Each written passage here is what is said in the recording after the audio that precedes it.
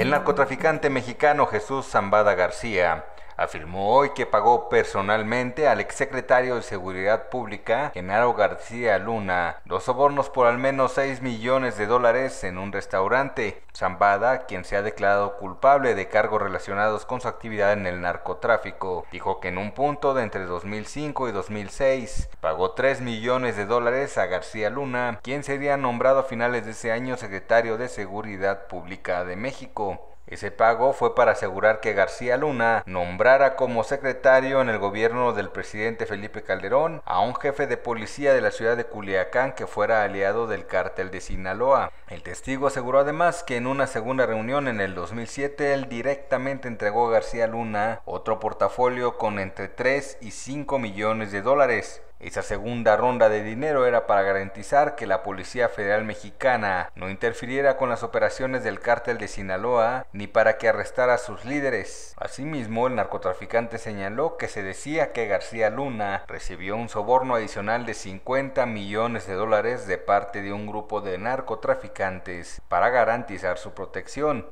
Finalmente reveló que sobornó a un sujeto identificado como Ragino, quien en 2005 laboraba para el gobierno de la Ciudad de México durante la gestión de Andrés Manuel López Obrador, y ese soborno sería presuntamente para garantizar la protección del cártel de Sinaloa en caso de que López Obrador ganara las elecciones de 2006. Con información de agencias, El Economista Televisión.